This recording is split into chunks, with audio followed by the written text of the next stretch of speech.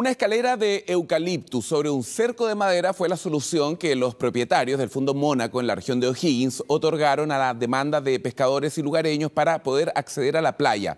Esta medida fue calificada como una burla. Quienes quieren llegar al mar deben caminar cerca de 8 kilómetros ya que el acceso vehicular sigue prohibido. El conflicto continúa y quienes quieren que se abra el camino piden la intervención del Ministerio de Bienes Nacionales. El reportaje es del periodista Cristian Acuña.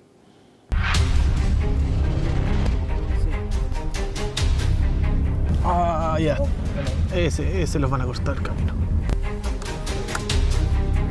Estos son caminos privados. Sé que tienen a la bondad de darse vuelta más de 100 metros. ¿Cómo se puede llegar a la playa? ¿Así? Pero yo le dije, podemos hablar, pero afuera. Esto no es afuera. No, pero aquí estamos en la propiedad de... Sí, pero Ahora de están escondidos aquí, weón. ¿No? Vamos saliendo. Vamos Si saliendo. está bien, pero no vuelva.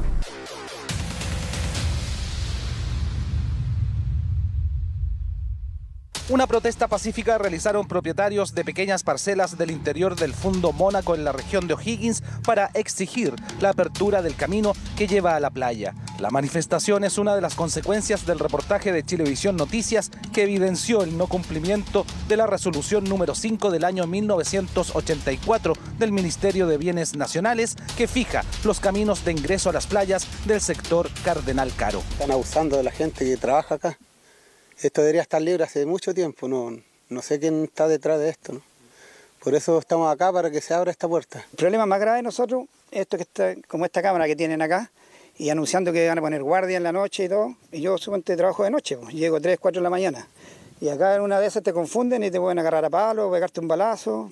Este lunes por la mañana amaneció instalado un improvisado paso peatonal que no existía la semana pasada cuando visitamos la zona. Una medida que dicen los lugareños es insuficiente. Pero no puede ser que la gente esté amenazando a los otros. Hay gente que acá, como estos señores, trabajan, dependen, tienen su, su sustento y no puede ser que tengan que caminar a pie para llegar acá. ¿Qué le parece esa escalera? Horrible, no sé quién, quién dio esta, esta orden de- del gobierno, no creo.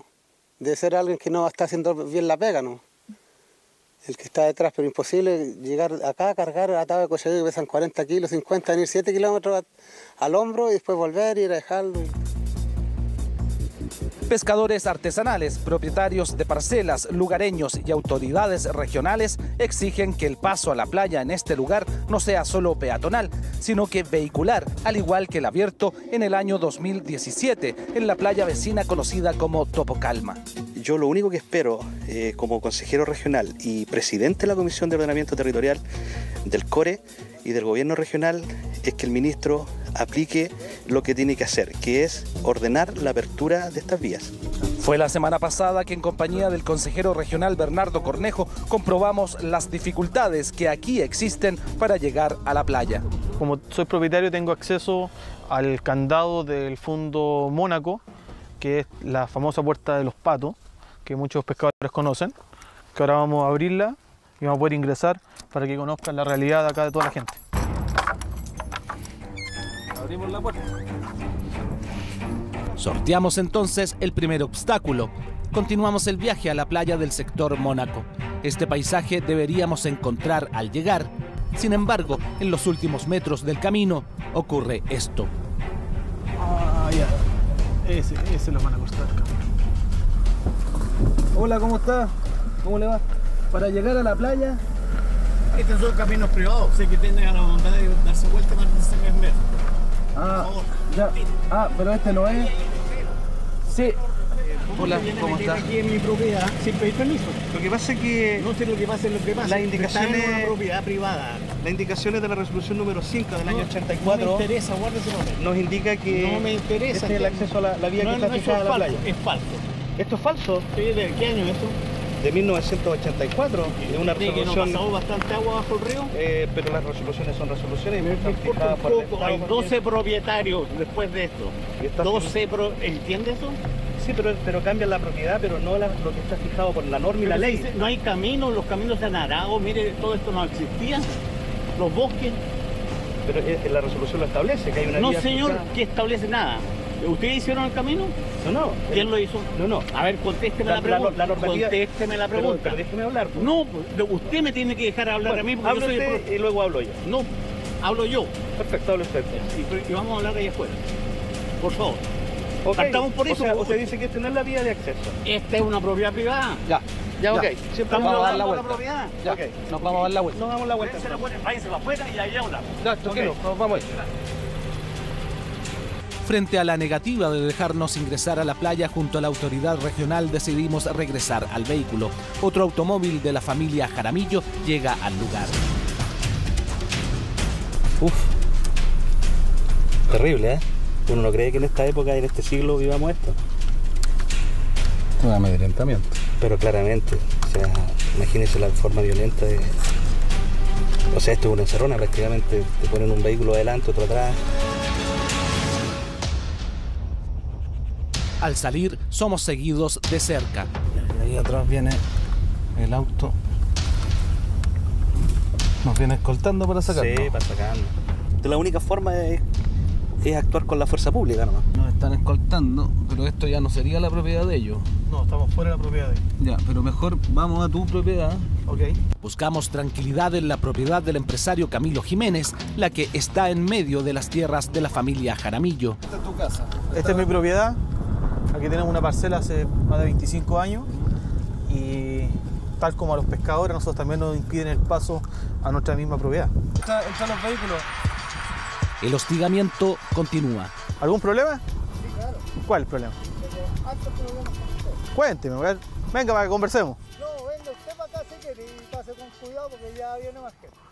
Y efectivamente a los minutos llegan más integrantes de la familia Jaramillo, los mismos que nos impidieron el paso a la playa. ¿Andan viendo qué posibilidades de camino hay? ¿Esa es la idea? Claro, como lo que pasa es que hay una resolución del 84 Sí. que, que fija las vías de acceso y está vigente. No, no está vigente en este fondo, si este fondo se, se loteó. Puede haber un proyecto que puede llegar a hacerlo. ¿ok? Entonces, puede ser, y si el día de mañana hay una autorización. que No, pero la resolución sí existe. Sí, pero hoy día no se puede porque hay muchos dueños. que metan la cuchara yo, pero No hay, no hay, no hay una orden, no, no hay No, no se, nada. no se ha, no se ha derogado esa resolución del Sí, 84. pero hoy día no hay. Sí, sí, Lo que pasa es que lo que cambia son los, los propietarios cambian. En eso sí estoy de acuerdo con ustedes. Pero no cambia la vía. La, la fijación de la vía no De hecho, cambia. eso no nos atribuye para que pase por encima de nosotros. No, si yo no estoy pasando por encima de nadie. no, no, ¿Cómo que no? no. Yo lo saqué de adentro.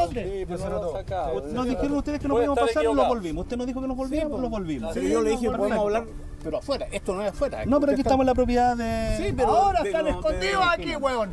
Luego de la discusión y el amedrentamiento, comenzamos a salir del sector en nuestro vehículo, pero continúan siguiéndonos y nos hacen nuevas advertencias. Voy a ver, no me saque ningún papel de eso porque no.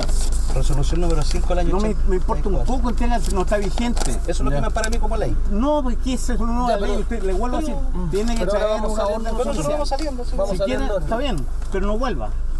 ¿Está claro? Si quieren expropiar el camino, yo se lo vendo. Me lo hagan y pasan. Hagan el camino pavimentado, todo lo que quieran, pero lo expropian. Gracias. ¿Está claro? Muchas gracias, hasta luego.